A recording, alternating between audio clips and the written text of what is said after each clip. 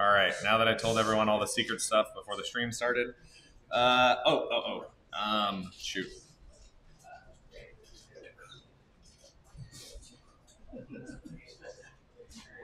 Oh, I think I just have it here. Let me check.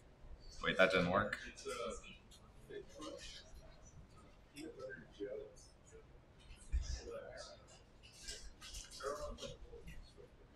That's what I wanted to stop. Let's see, where was it? Oh, there we go. All right, you can all thank Connor for this great image of uh, building a web server. Although I don't know if this is the fixed version, so it's okay. It's close. It's close enough. Y'all did pretty good. I will say, uh, started late. Many of you. I guess it's not a judgment call, but you will only know internally if that was a good or a bad decision. So, uh, 44% did all of it, which is pretty good. And like 50, 50 people got A's, or 50% of the people got A's, so that's pretty good. Good job. I'm proud of you. Oh, my screen share broke. What's going on? Is it working? Twitch. Hello, Twitch. Is it working now? Yeah? Somebody say yes? Okay, I'm watching it. This delay is so stupid. Okay, we see. Good. Okay. All right, and now we are going to put all those skills you've been developing. Do you feel like you've been developing skills in this class? It's definitely still. It's still frozen? I thought I saw it move. Uh, it's loading for me, all that matters. Like, yeah, Yeah. Oh, but it's not. Dude, I thought do this reshare. This thing is so stupid. Software. Can one of you all like just go fix OBS so it works and doesn't have all these insane problems? That'd be great. How about that? Boom, updating. I see it now. Great. Okay, people online, so you can see the. This was the grades that I guess you didn't get to see, or the grade distribution. Of course, I would never show any of your grades because that would be a violation of. FERPA. Yeah, it's pretty good. Yeah, yeah. And this is this is C, so these people still pass too, I guess. All right. Okay, back to my joke about skills. Do you feel like you've been getting skills in the class? What types of skills? x86 assembly. You're growing to deeply love x86 assembly. You're enjoying understanding exactly how the CPU executes programs. You feel like you have a mastery over. If I just keep talking like this, will that actually? Will you believe me that you do feel this way, or maybe somewhere deep down you feel this way? No. Cool. Okay. So, I regret to inform you that many of you, after you graduate, will probably not be writing assembly code. Why is that? No. No. Yeah. Because it's not as easy as like Java. Because it's not as easy as Python or Java. Why is it not as easy? Lower level languages. Yeah, it's low level, right? You have to deal with moving the data literally from memory into a register and then com- computing on it. It's simple. I hope you've maybe come to appreciate that at least. And the fact that it is not that complicated. I think if you probably looked at the programs that you wrote, you wrote a, wrote a whole web server, probably using less than 10 different assembly instructions. Maybe some forms of moving and, uh, uh, you know, you're moving, comparing things, doing addition, probably two or three ish of those. So honestly, like if you think about it, what you used in the universe of all possible assembly instructions was pretty small, yet you were able to do something super cool, right? Create a web server that literally the tools you were using in module one could talk to that web server. Um, so, so going from there, why do we do this to understand what's going on under the covers and that's really what we're moving to now is how do we apply that knowledge that this hard won knowledge that you've gained from analyzing and writing assembly code to understand programs. So, have you like? So I was actually just talking about OBS, the streaming software, and I was saying it's super annoying. So I said one of you could go fix that bug that I'm having, whatever bug happens here. Why did I say that? It's open source. You could go to the source code, you could find it, download it. What if you wanted to fix a bug or identify a bug in uh, Windows? You gotta submit it. What was it? You gotta submit it. Yeah. So the is the source code available? What are some other things, software that you use that the source code is not available? Canvas. Canvas. Ooh, that's I hate Canvas. Anyways, other things. Windows. Windows. What other things? Nobody plays games in this class. People are like sharing their gaming setups. Do you frequently have access to the source code of the games you play? So that is What games do you play that you have source code to? Minecraft? Does debugging a Genesis game count? Genesis games. Yeah, consoles. Like Yeah. going back, it's like getting the raw, like the raw data, just reverse it, reverse it. Yeah, so the, we'll, we'll get to there, but what we're really focused on here, what we mean by, I mean, reverse engineering as a concept is quite large. Um, here, we're interested in understanding software and specifically, like the software that we get, we do not get the source code, but we want to identify and understand the behavior of that software system, ultimately, as we'll see, to find bugs. Because if you don't know what something does, you can't find a bug in that system. Um, so, of course, if we're thinking, anytime somebody tells you, I don't know, a thing of reverse engineering, you should probably ask yourself, well, what is forward engineering? If I'm going backwards for something, what's the forward thing? So, what's the forward software engineering process? Yeah. You design the software first, and then what? You have to write the code. So you write code that implements it, and then you actually then build it. So if you're using a, a language like C or C++, which we'll focus on pretty much here, that will then generate a binary that is actually run, runnable and executable by your CPUs. You have written these binaries and this assembly, so you are no stranger to this process. Um, the there's a lot of steps here um, in this process. It could look different based on uh, how your process goes, but essentially, you have some high level design. At this stage in your careers, you're maybe not doing a ton of design, right? Who who's doing the design? Yeah, the, whoever's running the course, right? The assignment description is your design, and you have to implement something that matches that. As you go further and further, you will be expected to design systems or work with people to collaboratively do designs. But you have to design something like what should the system do? And then you got to code it up, and then you compile it, and then there will obviously be tons of bugs. Uh, I think it was the first time for me was probably like three or four years ago.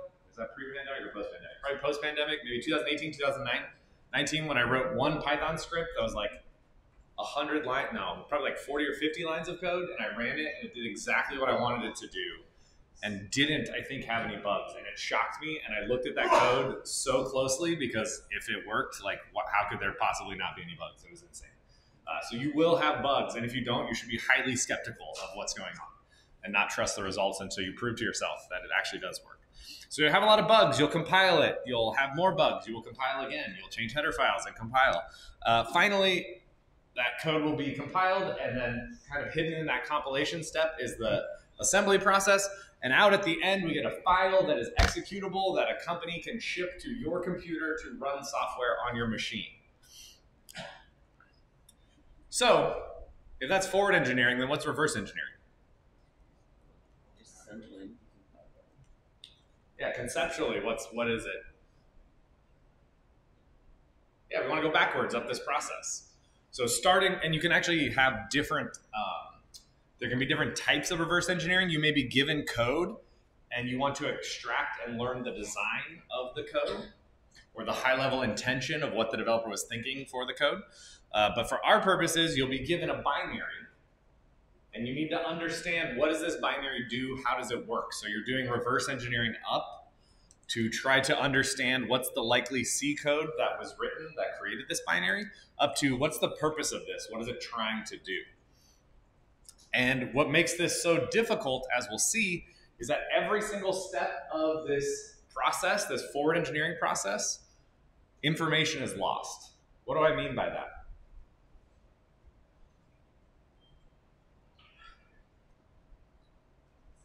If there's any sort of comments in the code, just you're just not gonna see it. Yeah, comment. Do comments help you understand code? If they're correct and not out, outdated, right? I know a lot of you. I saw code last night. When you're writing your web server, you hopefully followed my example and had comments in your assembly code about what the syscall was, what you were trying to do, and that helped you understand and think about it. But once you compile your code, all those comments are gone. All that information, that knowledge about the that exists in the source code is no longer in the binary that gets generated. What about the design to code?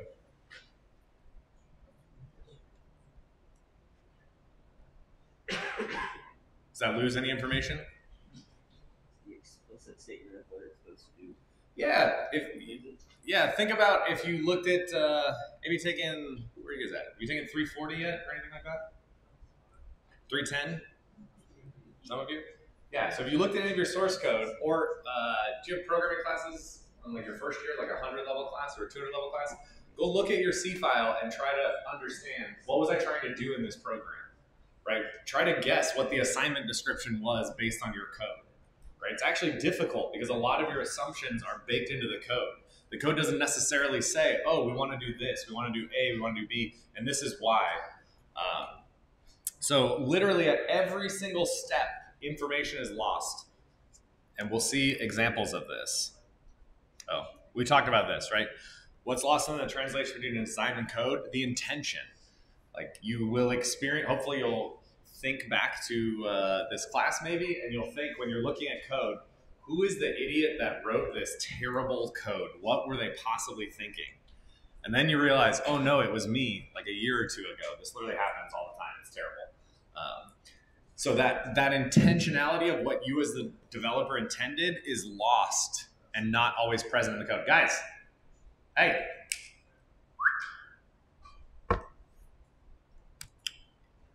And as we talked about, things like comments are gone. Other things, how many of you had uh, very handy, nice variable names in your assembly code? Do you like that nice file descriptor register you could use? Or that read bytes register you could use? You didn't use that feature? No, because it doesn't exist. Right? Assembly code does not have variable names. All you have is registers. Right? So the compiler, when it spits out a binary, does not keep, oh, this variable is called i, this variable called fd, this variable is called the read size. Um, function names, even as we'll see. The CPU doesn't care, right? You had labels in your code, but what were those labels actually doing? What did the assembler do with your labels? Turn them into addresses. Turns them into sometimes addresses, but also offsets, right? So byte offsets, literally how far to jump forward or backwards. Um, structures. So if you have any type of uh, complex structures, like we saw um, when you were using the bind, the socket, the sock adder struct, right? Those are bytes in memory. Where the exact boundaries are gets completely obliterated. Um, and sometimes things will get completely removed based on optimizations. Compilers are incredibly smart. They can do things like, oh, uh, actually, I know that this branch is always going to be false or true, and so I'm just not even going to include that code in the compiled binary. And so the reverse engineering process is actually getting this stuff back, which is crazy. Um, so let's uh, compile a little program and check it out. So I will use pwn.college Desktop. Um, I like the building a web server one. We'll just go here. Doesn't really matter. What was that? Connect, connect, connect. There we go. Okay, terminal. Can y'all see this, or should I in the back, or can I should I include, increase the font size? Quick, what does it say? Ah, don't say that. Okay, I'm gonna make it bigger. I can't. Oh, there we go. Boom, boom. Okay, cool. So, oh, fine. Let's use Vim. Uh, okay, I need a main function. I'm not going to have it take any arguments. Um, uh, return zero. Uh, okay, let's make it slightly fancier. I'm going to have a character buffer called buff. Uh, buff that has 1024 characters. I am then going to read from scan standard input. So with scanf, S-C-A-N-F, uh, percent 1023 S. So that will read in 1023 characters into a string. I need to pass uh, buff. Question is if I pass address of buff, but we'll see. Um, I do not remember off the top of my head what. Uh, how can I find out what library function implements scanf?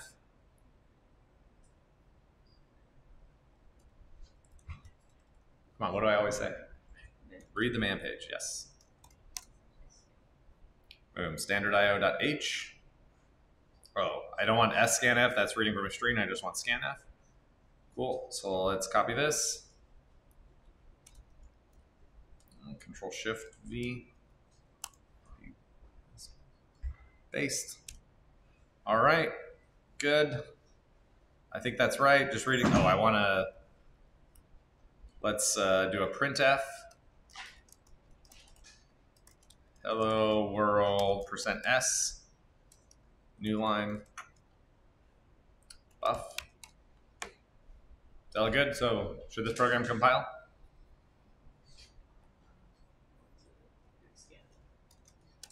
Maybe no one knows.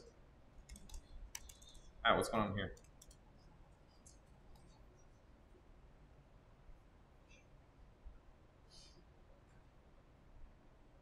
Ah, there we go.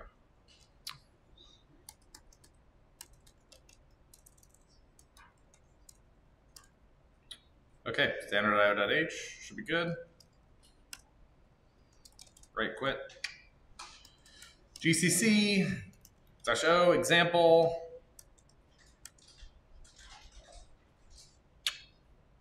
Format not a string literal and no format arguments. Ah, because I used scanf. Thank you. Good call. Which we just talked about. All right, that worked.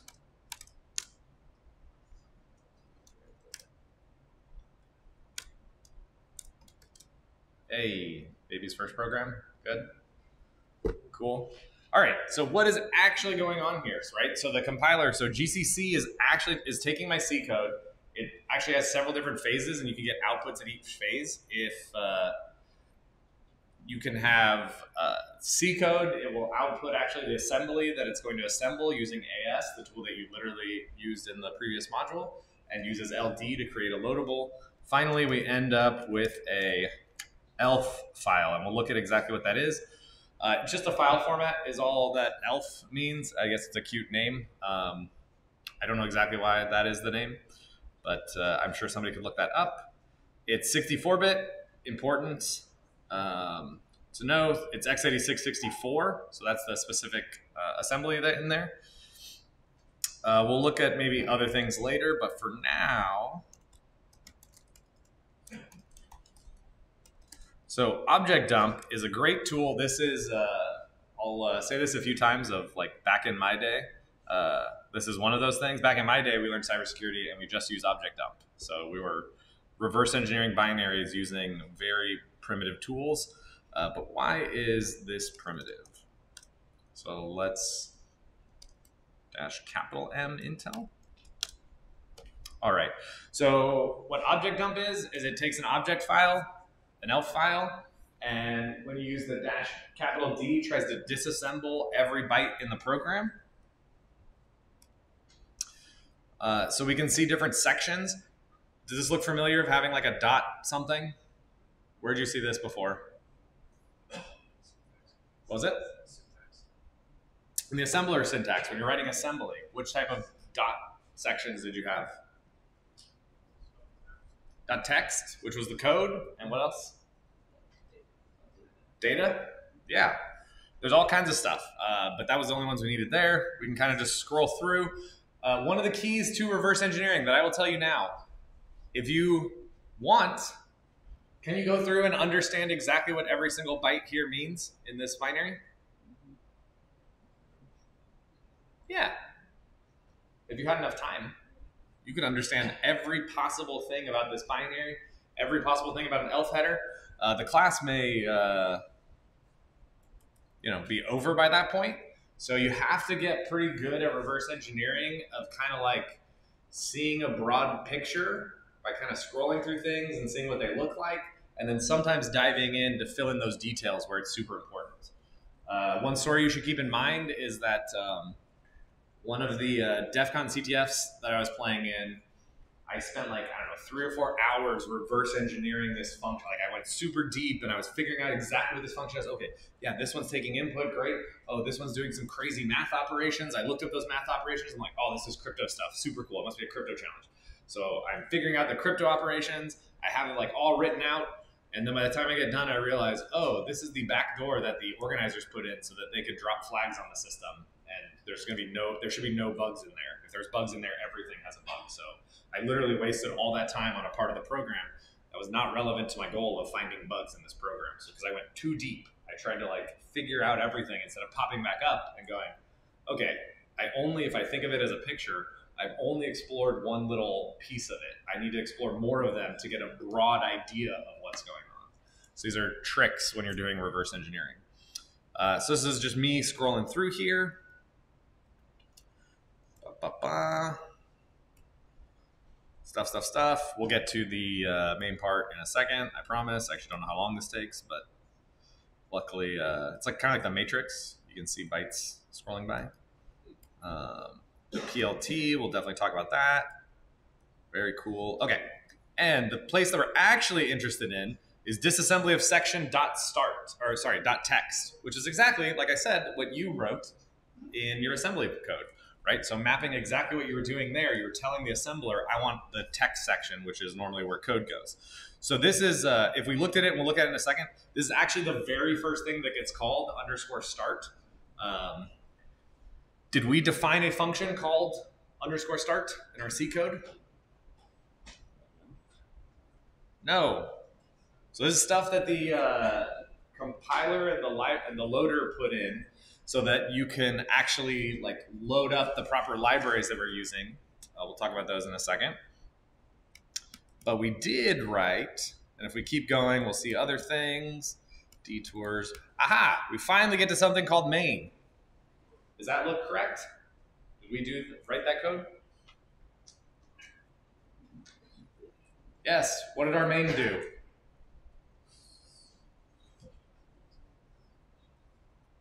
Create a buffer. It allocated a buffer and then did what with that buffer?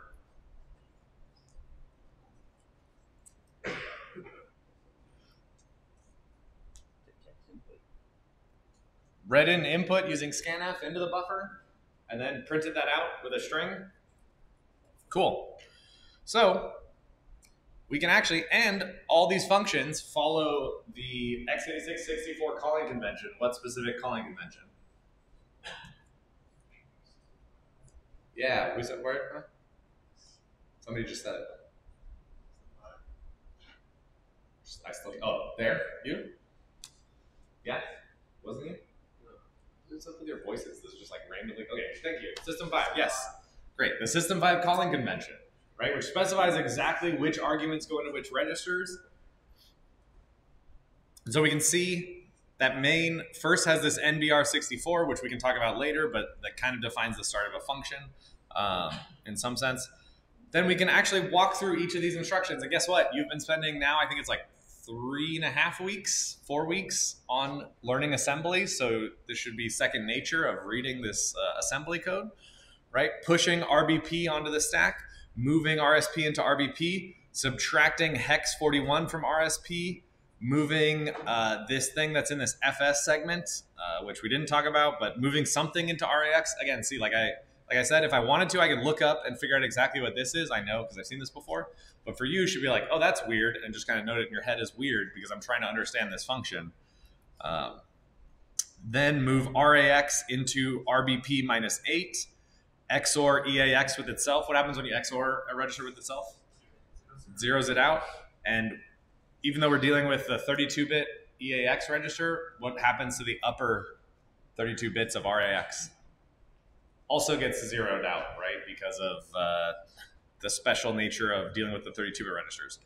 Anyways, we then load effective address so we calculate what is RBP minus hex 41, put that into RAX, whatever. We could keep going through here.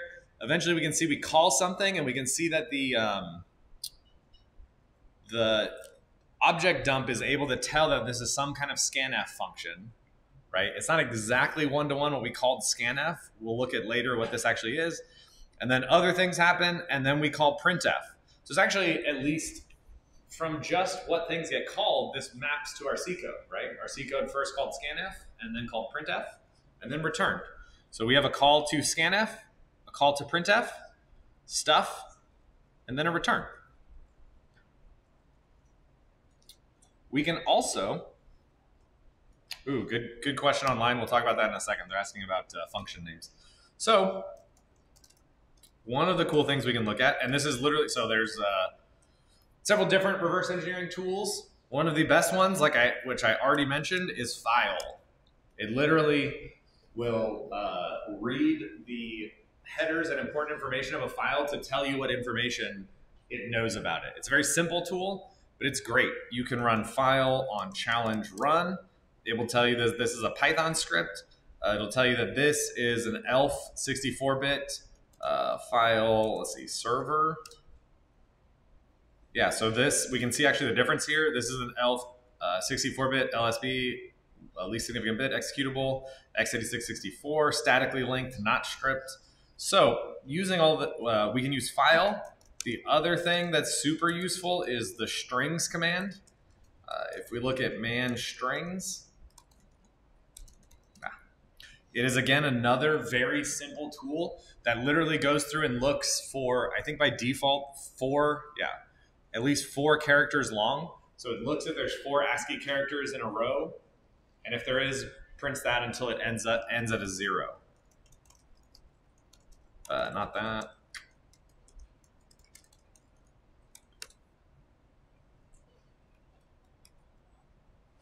So there's actually like a lot of strings in here. So what strings were from our code?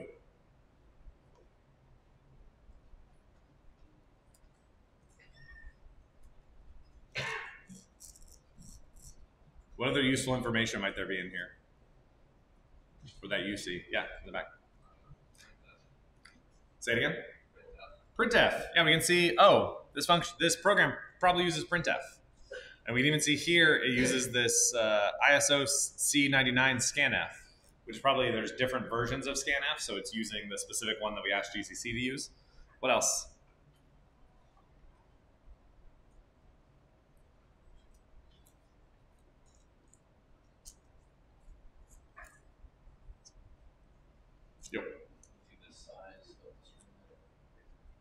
Louder?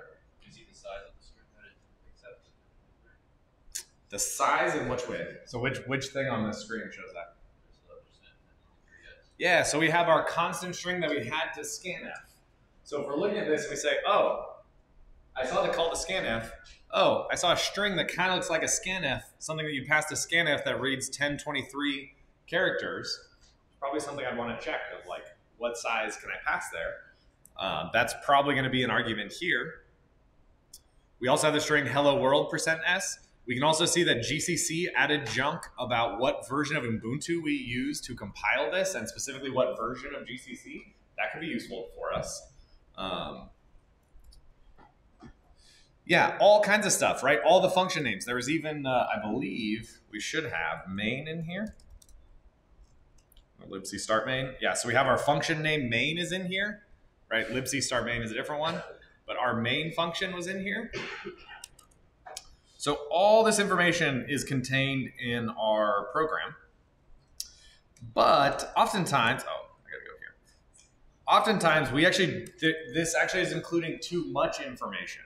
Uh, we also didn't even show uh, this is not compiled with debug symbols. Anybody know how to compile with de- debug symbols? Yep.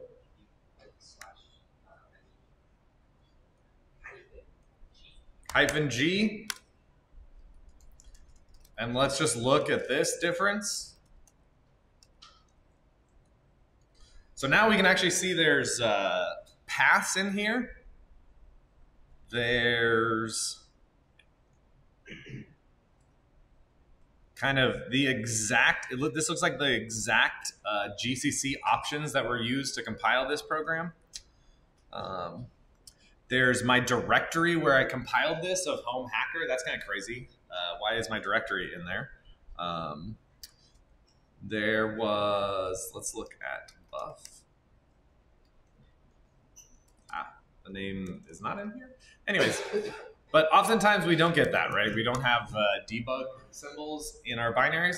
And even worse, there's actually a very trivial command that any developer can run for any ELF file called strip, which deletes any symbol and data from object files that aren't useful. So very often when you have a closed source binary or closed source application, the symbols will be stripped like this uh, so that you can't easily get data. So let's run that on our,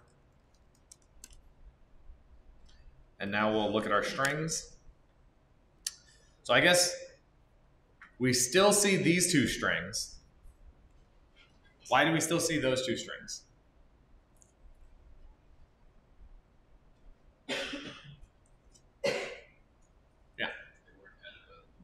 Yeah. Yeah, they weren't added by the compiler. They're in our program, right? This this strip command should not remove any of these strings because those are ours, right? It would break the functionality of the application.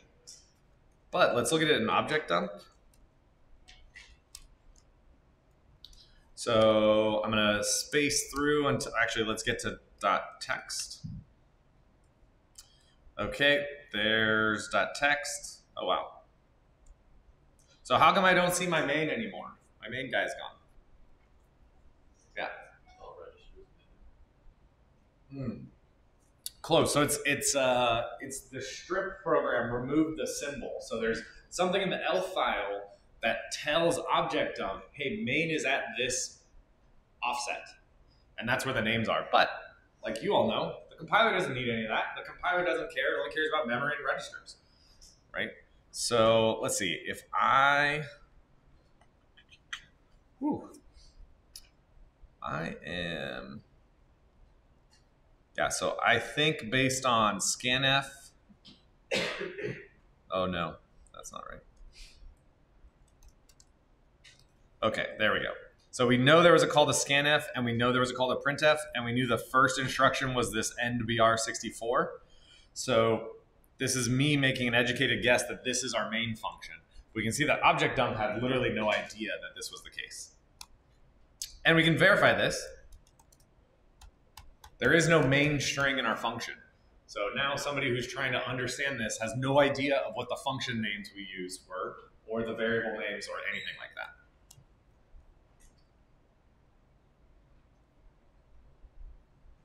Cool. Okay.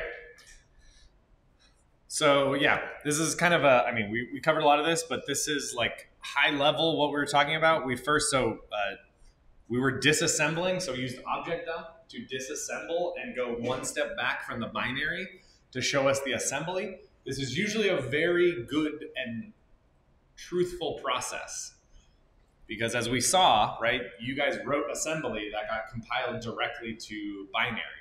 And going back and forth is actually not that difficult because you're using the registers and everything. There are tools that we will look at to decompile code into C or a C-like representation. So tools that can take assembly code and produce okay-ish looking C. As we go further up, you can think of you're building on a shaky foundation. Uh, specifically for decompilers, they are often wrong. So this is why you can't just like. This is why we actually had to study assembly code for four and a half weeks, five weeks. I don't know. Time has no meaning anymore. But um, after you're done netcatting and uh, curling, right? We spent so much time looking at reverse engineering or looking at assembly because oftentimes the decompiler will be wrong and you will have to look at the assembly code to actually understand what's going on. Um, and then you do a lot of thinking. So based on that, you're like, hmm, how is this program likely written? What is this for? Because you have no function names. So one of the things we'll see, part of the reverse engineering process to help you think about the code and the system is to actually give names to things. Things like variables. What is this variable called? How is it used in this function? If I was writing the C code, how would I call that? What is this actually doing? There's like a lot of pointer operations. Is it sorting things? Is it iterating over a list, trying to find a specific element? These are a lot of this is not very complicated, but it's just stuff that you um, you have to uh, think about that, and then you kind of get this click, and you understand exactly how the program works, such that you can do whatever it is you want to do. You can find bugs in the code.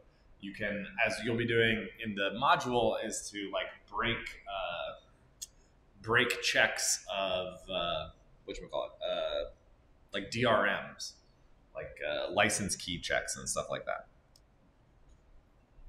Questions?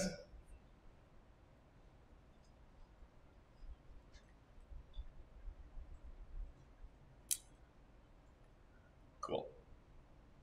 Oh, and somebody mentioned it, so I guess I'll, I'll briefly mention it here. So this is kind of the, oh, that's not it. Um, this is basically the, using strip is kind of like the baseline of what you get in terms of what developers can do to prevent you from understanding their code from the binary. Um, but there's all kinds of crazy stuff that they can do in terms of obfuscation. Like those strings that we saw, there are programs that will automatically go through and encrypt, or usually not quote encrypt, but will modify uh, the values in memory so you can't see them. Like they'll XOR them with a constant value, and then when they use them, they will decrypt them with, with using XOR on that key. Uh, all kinds of crazy stuff that, that can be done here. Cool. Okay. But now, to understand how to reverse engineer, we need to actually learn more about the forward engineering process. And this is stuff that you've we've covered a little bit, like calling conventions, um, and we've touched on the stack, but we need to actually like understand what makes up a program so we can understand that when we're reverse engineering these things. So, uh, program can have many different modules, each composed of functions that contain basic blocks or blocks as we'll talk about here that consist of assembly instructions. So you've been writing assembly instructions. You've actually implicitly been doing kind of some of this other stuff and fundamentally operates on variables and data structures. So let's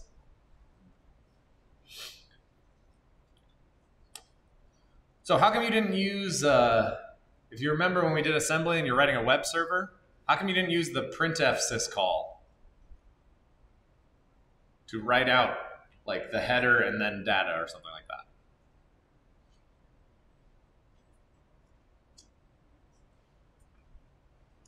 There is no printf. There is no printf syscall. I maybe already made that reference, but thank you for remembering.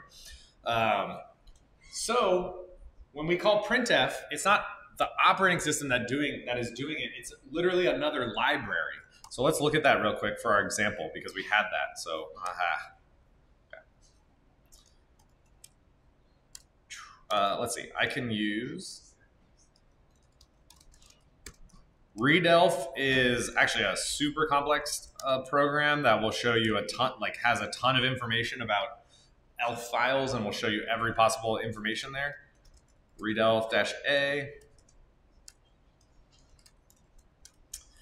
Uh, it shows you all the magic values, everything that you needed in, in here. Uh, what I want to show is the libraries. So there's uh, so this is the loader LD. This is what does the dynamic uh, loading, and then it should say yeah. So this specific section here defines what kind of libraries it needs. So our program saying, hey, I need libc.so.6. and the loader at runtime, when those functions are called, will actually load that from the file system.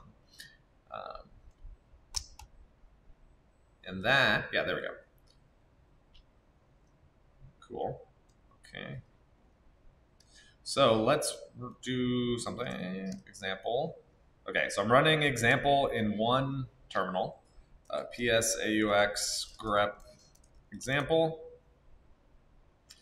Okay, one of the other nice things we can use to figure out about a program is the proc file system. So slash proc is uh, a way the operating system gives you a view into what's going on on the system in terms of a file system. Uh, there's a crazy amount of stuff in here, but uh, you can explore at your leisure. Um, but I know you go proc slash the process ID, and then we can look in there. This is all the information about that specific process.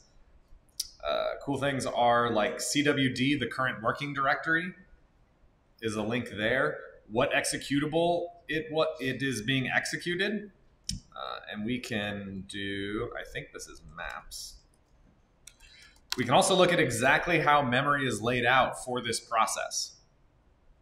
So we can see we have the binary example. So it is being mapped at this memory address.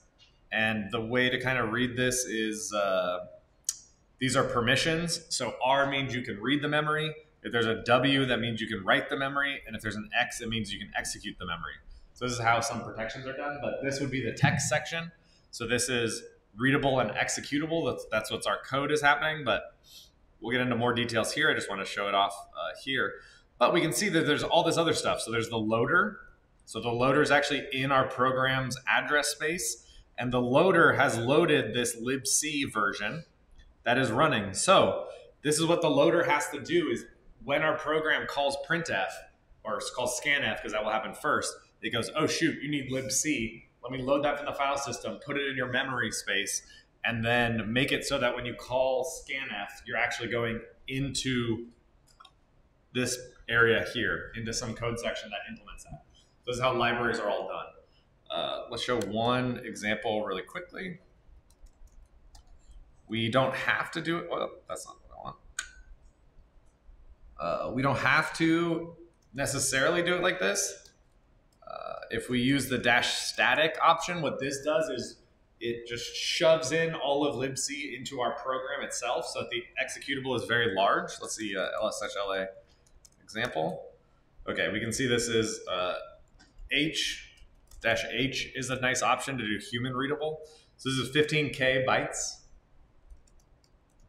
If we compile this with dash static, run it, almost a megabyte, 979K. And then when we run it, we should be able to. No.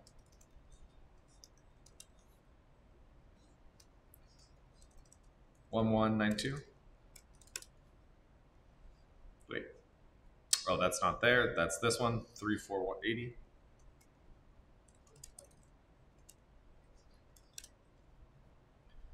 So now we can see a whole lot of less junk, right? The only thing that's in here is basically our program and some other places like uh, the stack is located here, the heaps here, right?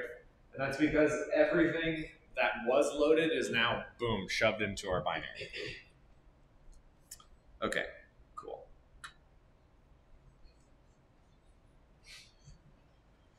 So when it comes to reverse engineering, if we see a call to something like scanf, should we open up ld.so and start reverse engineering what scanf does? No, what was what should we do? Manual. Yeah, read the man, read the documentation, read the manual, right? If somebody else has already documented how this thing should work, let's not dig into it unless we absolutely have to. Um, so that's at the module level, right? We can have different libraries. Then we define uh, functions, and this is most of, I don't know if this is a good thing or a bad thing, but most of the reverse engineering tools are targeted towards understanding a specific function. Um, and so usually you reverse engineer a function in order to understand what it does because that function does not have a name. So you don't know what that function does. And then you can see by giving that a name, can you see more of what's going on? Okay, first thing to look at. Let's go back here.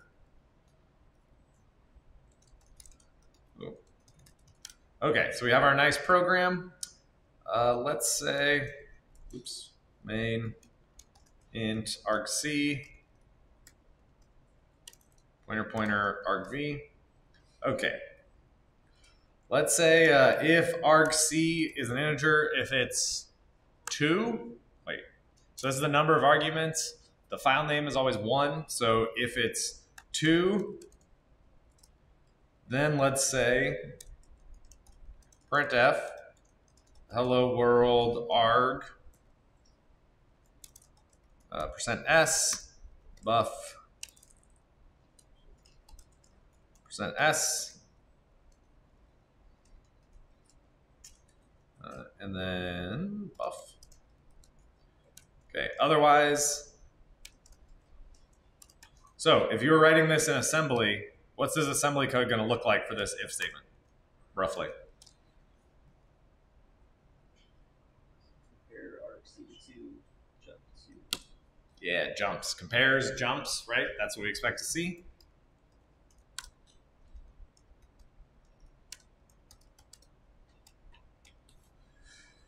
Okay, we can jump in here. So we can look. So compare RBP minus hex 414 with 2. 2 was the value that we specified in there. That makes sense. It's a good check jump if not equal. So if it's not equal, jump to this at 7a uh, or at 1203, which will be down here. And then we'll start executing. So assuming we start executing at main,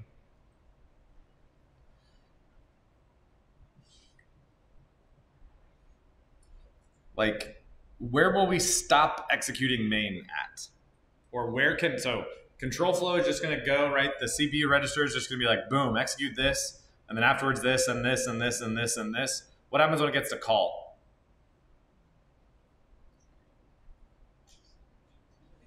Goes somewhere else, right? It goes to 10, 1090. And then when it comes back, it compares and then jumps and then goes to 1203. So you can think of these like a single unit, like a block of code that will always execute. So these instructions here, now getting more precise, if you include that call or not, is uh, up to the tools. But we can think of it as maybe up here down to the J- JNE is one block. And then there's after this JNE, what are the two possible places that the code can then execute?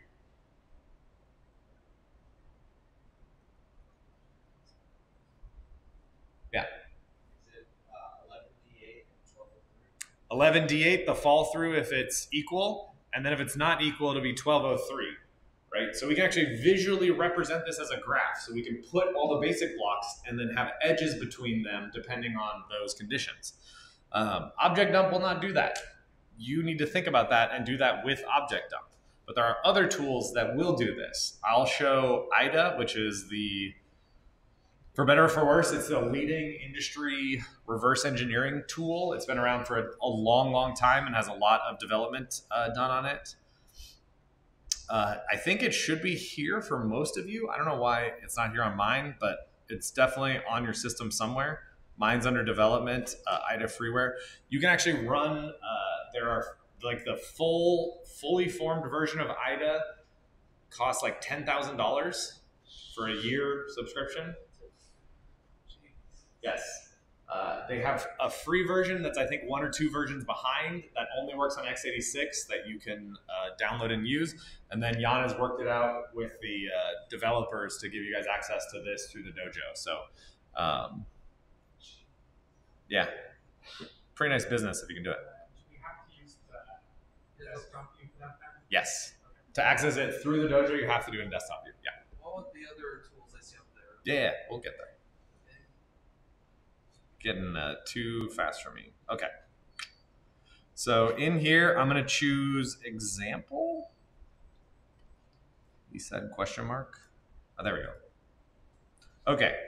And uh, sorry, I realize this is kind of small. I don't know how to zoom in better here, but there's like a ton of options. I would highly recommend like you can fiddle with this because you can literally just throw a blob that you got from somewhere and it will do its best. You can tell it how to do things. For many things, it's very good, especially for this, it's very good at figuring out what you kind of want to do. So you can just use the default options. It will then go try to figure out, and you can actually even see in the lower left the uh, the graph that it generates. And let's see, you kind of want to wait just in case it's for a while. The initial auto analysis has been finished. This is your key that like, okay, it's done. It's kind of figured everything out. It by default puts you in main. So if we look, this is exactly sorry, this is exactly the same code. NBR push RB RSP RB minus 420 hex from RSP, and then we had our two compare two with RBP, but we had let's uh, compare that actually.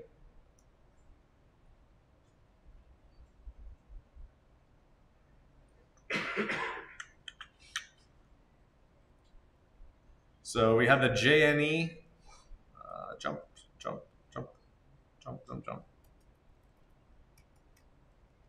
Why can't I see it? Oh, here it is. Uh, the JNE and the compare with RBP minus hex 414. If we look back, we see it's actually not, it says var 414. So what's it doing that? So what it's doing is it's actually realizing, oh, any offset of RBP in this function is to a local variable. So it gives that variable a name so that you can give it a name. Um, and if I hit the, the magic key on all these things is F5, if you hit the magic thing of F5, it will decompile. And so we can see main, we can see that it actually has figured out that there is some, now why does it, why didn't it call this buff? It says car V4. Yeah, because it's stupid. It does, or not because it's stupid. It doesn't know, right? That information literally disappeared in the binary. Um, that that data is not there. And then it has this unsigned int v5. Uh, so looking at, we see the scanf, we see our string, we see v4, we see if argc is 2, then printf hello world, blah, blah, blah, pass in argv1, v4. Otherwise, printf hello world, that. So this is part of as where I guess I didn't strip this one, but you can use. Uh, there's a lot of like keyboard shortcuts I would highly recommend you use. There's also like the right click menu, but you can uh, rename the variable to buffer. And now that propagates everywhere. So now you can see exactly what that was. It's actually a bad example because uh, it's got it so correct. Um, the other cool thing and the cool trick to use is tab. So if you're on the assembly or the decompiled view, you hit tab, it switches you to, over to the other one and highlights whatever was highlighted there. So if you want to know, hey, where's this printf happening?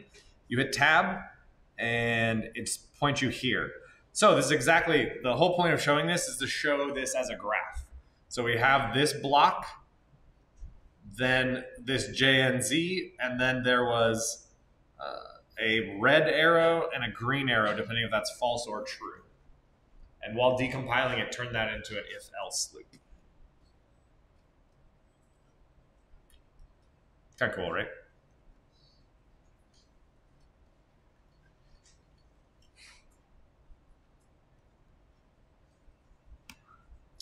Cool. Okay.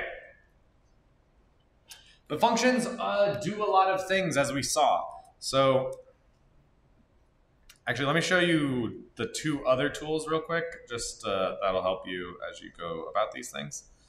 Um, the other tool that I'll show next is the one that actually we make here at uh, UCSB in our lab.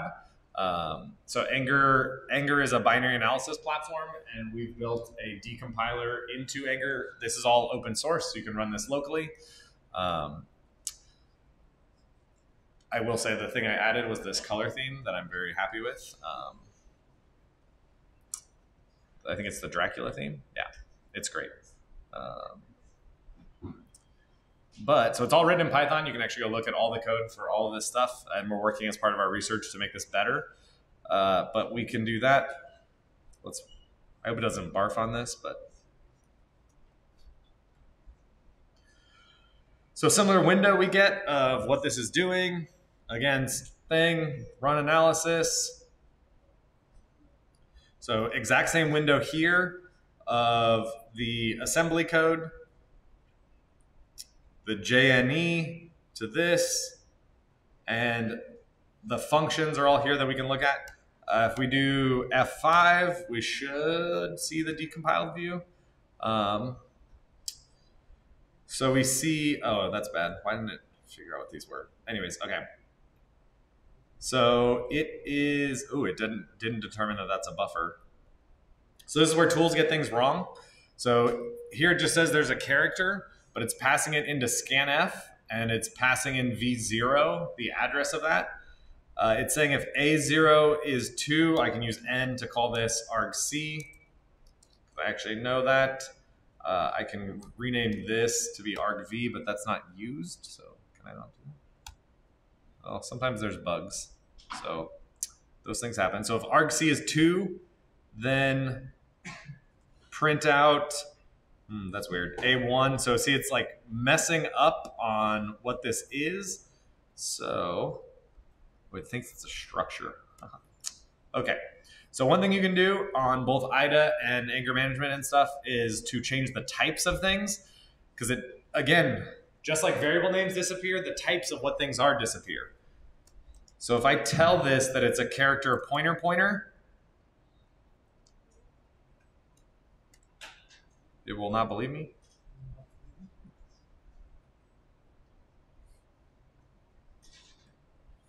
Hmm. All right, I'll have bug reports for people after this class. Awesome. Uh, okay. Character v0. Was it 10 hex 1024? Something like that. It should redraw too, but it's not redrawing. Oh, and the type of this function may be wrong. Anyways, okay. So let's not mess with this anymore, even though I want to fix all these problems. Um, the point being, we can interact with the tool. We can change the name. Great. Redraw that. The other weird thing is it didn't do the if else. It, it has two returns here. I don't know if that's because that's what the binary does. Um, no, they both go to the same place.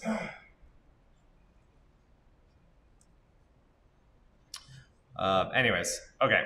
So at least, oh, maybe the different. Oh, I wonder if that's going to work.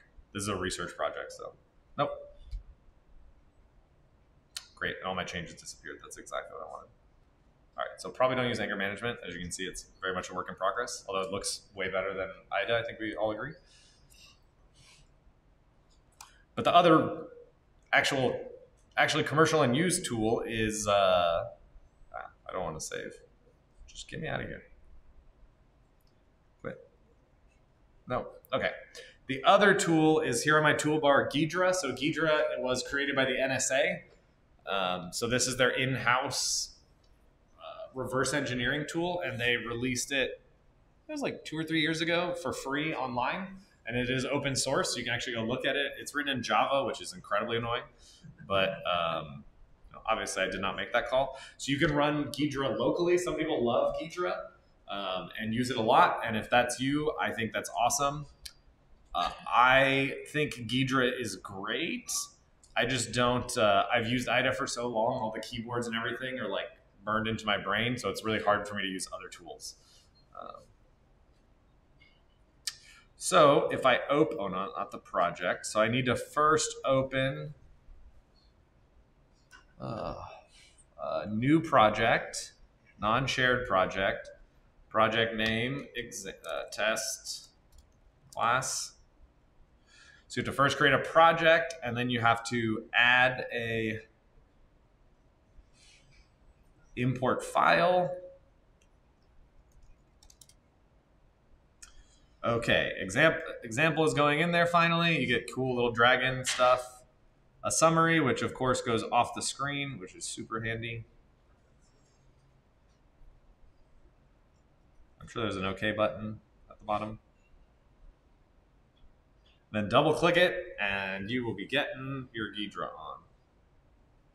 Uh, the big difference, I think, is in how the default is. So it ha- hasn't been analyzed. Would I like to analyze it? Yeah, for sure. Analyze it. That's why I'm here. Um, I don't want to look at this myself. So one thing is the decompiled view is to the right of the assembly view. So rather than by default being different, it's showing you as it goes through. So as I click into main, I see the Ghidra decompiled code here. Um, so I see main int param one, param two, and I'm seeing the scanf local 418. So this actually defined uh, the size of the buffer correctly and said if param one is two, do this. Otherwise, do this. And then return zero. So it looks like it got slightly better output. So it's up to you. I would use the different tools. Do use what speaks to you internally, what what vibes with what you want. But you can do literally everything we talked about. See what the keyboard shortcuts are different. That's what really annoys me. So you can rename variable to argc. You can uh, rename this variable to argv. You can then retype the variable and call this a character pointer pointer. And that made that look prettier. You see that? So it got rid of the uh, typecast. And we can call you buff. And we can also define the type of buff as uh, character 1024.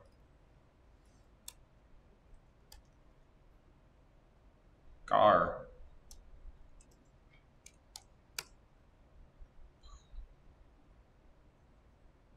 Good. Cool. There's our buff. So I got passed in correctly. Awesome. And then the other thing we could do as we're looking at a function, of course, like we talked about, would be if this didn't have a name, we could give it names, and that helps us. Okay, but what are these functions doing? So every time a function is called, it needs to be prepared. And so we looked at even what registers that functions can use. So if you're a function, what registers can you use? Or how would I look up what, what registers I could use?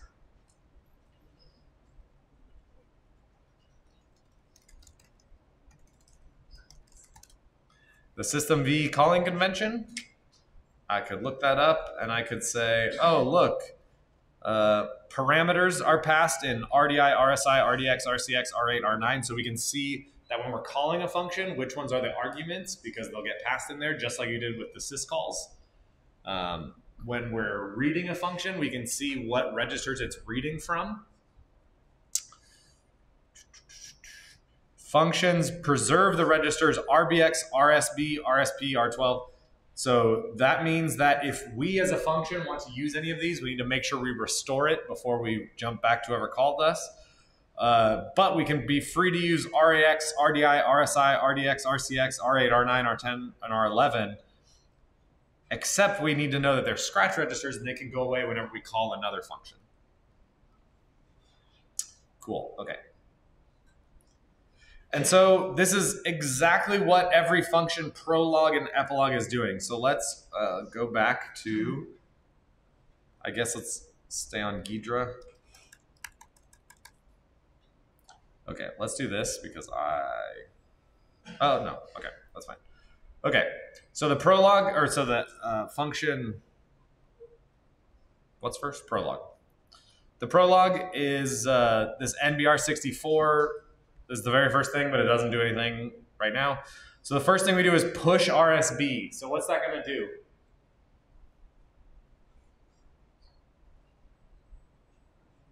There's the stack pointer on the stack. Not onto the stack, not the stack pointer, but RBP. So as we'll see, that's the base pointer. Yeah. It is a register that we're going to use, so we need to save it. So we look at, we push RBP, we then move the stack pointer into RBP. So wherever the current stack is, is now where our base pointer is. And then we subtract 420 hex from the base pointer. Sorry, from the stack pointer. My bad. And we can actually look, well, and then we look at the epilogue. So that's the thing at the end of the function. So the very end of the function will be ret. The other function that's the other address that's special, sorry, the other uh, instruction that is very complicated is the leave instruction. This does the exact opposite. It pops off. It. Uh, let me get this right. Uh, it pops from RSP into the. Uh, no? Okay. Let's go over the slides. So we'll go through an example of this and then I will remember. Okay, but in this example on the slides, we're first pushing RBP, move RSP into RBP, subtract a, a thousand hex from RSP. And then what we're doing at the end is moving RBP into RSP and then popping RBP. Yeah, there we go. Okay. So we need that place, and we've actually we've already been using a stack, right? It's just been kind of implicit, whatever was in RSP, um, and so the different sections we've we've used the .data section, which is pre-initialized global writable data. Um, if you have string constants, they're typically an RO data, so read-only data, so data that shouldn't be modified. And BSS is uh, used for uninitialized global writable data, usually global arrays without initial values, so you can write to those. Uh, but local variables, like we saw on the stack and on our, need to be stored for every invocation of the function. Um, so I believe we talked about this, but the stack grows from higher addresses to lower addresses. I personally am a big fan of the one on the far right where the stack grows down. But fundamentally, it doesn't matter. It just has to grow from higher addresses to lower addresses. So when you push to the stack, you're decreasing down, like the number of RSP is going down. If you're popping from the stack, it's increased. So on any of these three examples, so the yellow values are the ones that are, are uh, so in what order were those values pushed onto the stack.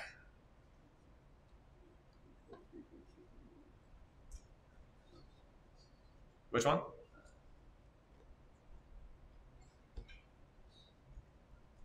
I guess more specific. Yeah. Uh, let's see. So this is the top of the stack. So if we did a, so it's growing negatively. So we had to push 41 and then got here. And then we push 42 here, here, and we push 43 to here. I guess another way to think about it is if you pop, which one comes off? Yeah. Wait, what? No. 43. Yeah, so the way to think about it is the place where the stack currently is, is at the negative most, the least place. That's why I, I like it. Wait, are these uh, wrong? No, no, they're right. Yeah. So if we pop from the stack, we'd get 43. If we popped again, we'd get 42. If we popped a third time, we'd get 41. That's also going in the reverse order. To get back to there, we'd push 41, 42, 43. Oh, literally it's on the slide. I didn't see that, sorry. Huh? Yeah, yes. None of us saw it. It's good, you're listening to me and not reading the slides. Especially when it has the answer that I just asked. Okay, so your stack, so the stack being the start, so the upper addresses are here. The current RSP points to here. And when I say RSP points to, I mean the RSP register has this exact value in memory. So you, so the uh, there's actually, um, if we look at main, so we've done actually several different things here for main in our program. So we had int argc, which tells you how many arguments are passed in. We have a pointer pointer to all of those string arguments. There's actually a third argument that gets passed in, the environment.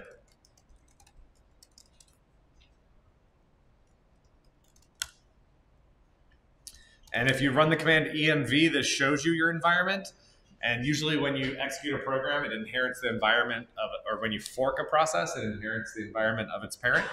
Um, so you can control this. But anyways, for now, what we're showing is that on this example,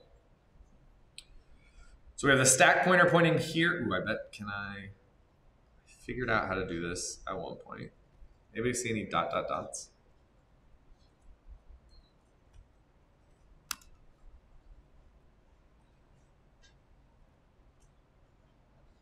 Show my pointer. That's not very useful. Is that what I wanted? Okay.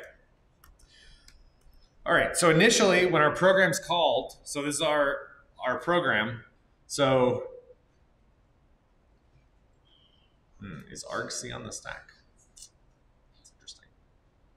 Is it historically, even though it's in a register for me? Yeah, exactly. Okay, the stack is here. Uh, in our registers, uh, the calling convention was what? What's the first one? Was it RDI and then RSI? So RDI, RSI. RDI will have argc, the number of arguments in our program. RSI will then have the address of this first place on the stack. And then argv0 will point to here, the actual program, the string in memory that contains the bytes. In this case, it's dot slash program hello. Uh, and whereas argv1 is a pointer here, argv2 is a pointer here, these are all in the stack. So the operating system sets this all up. So our program does not have to worry about this. And that's what the, that's like actually what main means is a contract between your program and the operating system. So if the operating system can tell you how many arguments you were called with and what those arguments are and how to access the environment. Uh, so your the next one, envp, so your environment uh, argument, the third argument, argc, argv, environment. This is an array of pointers that then each of them points to values. Anyways, this is what the stack could look like. And now, when we want to call a function, so one of the key important things, and this is what enables, um, as we'll see, like classic forms of memory corruption, is altering memory on the stack that is these return addresses. But when you call a function, a call is essentially a jump to a specific address and push the next instruction to be executed onto the stack. So this at this function here, so we have a call to main. What happens is when that happens, we start executing main. So the program counter the, is uh, the instruction pointer uh, the, sorry, the, specifically the RIP register is set to this value. And what happens implicitly is this memory address, which is uh, 401055, gets pushed onto the stack. So this is uh, 401055 onto the stack. And a return instruction at the end of a function, a ret, implicitly pops that and is a pop RIP. So a ret literally does nothing but pop RIP. So whatever the whatever the stack currently points to, just start executing from there. You can think of it like, um, you know the story of like Hansel and Gretel. So there's a it's like a fairy tale. You can go read it up after this, or go look at uh, look it up online. I'm sure there's a Wikipedia article. The idea is they go these children go exploring in the woods, and they think, "Aha! I know. I will figure out how to get back by taking a loaf of bread with me and leaving a trail of pieces of bread as they go exploring in the forest. Of course, the problem is anything could happen, and as you go backwards, you may lose the trail because animals have eaten the bread. If you had an, a smart adversary like yourselves, you can actually cleverly make that uh, trail to make the children, I don't know, go into an oven or whatever happens at the end. Kind of in there. Anyways, I'm mixing the, the story, but I think that is a part of the story that you can look at, but it doesn't happen like that. But anyways, uh, the point is the breadcrumbs. So these memory, these uh, addresses stored on the stack, which is just memory. If anybody changes them, your program does not know that. It is not smart. Remember, your CPU is incredibly dumb. Whenever it sees a ret, it just pops RIP. Okay, then in the epilogue, every function needs to set up its stack frame. So it needs a reserve space on the stack for it to execute. That is why our program was subtracting 420 hex so that it had enough bytes for its buffer on the stack. So usually, so RSP will point to the where this always points to where the stack currently is. The base pointer RBP points to into the stack frame of the function. So specifically, okay, we're towards the end. So specifically, the prologue does a push RBP. So after a call, so the first thing that happens when a function is called is implicitly the return address is stored onto the stack.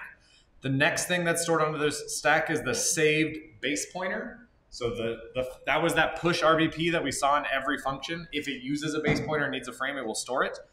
Then moves the stack pointer to the base pointer so that the base pointer is currently pointing here in this case. And then subtracts, in this case, 100 hex, which then means in this example, oh, yeah, I get it. Okay, perfect. Yeah, turn on the pen. Oh, thank God. Okay, so this at this point would be RSP, and this would be RBP for our function. Right, so we've essentially quote allocated, and again, here we're not, we don't have to ask the operating system for memory. All we need to do is subtract from the RSP in order to quote allocate memory on the stack. Now, when we want to return, we need to reverse that process. So we had RSP here, we had RBP here.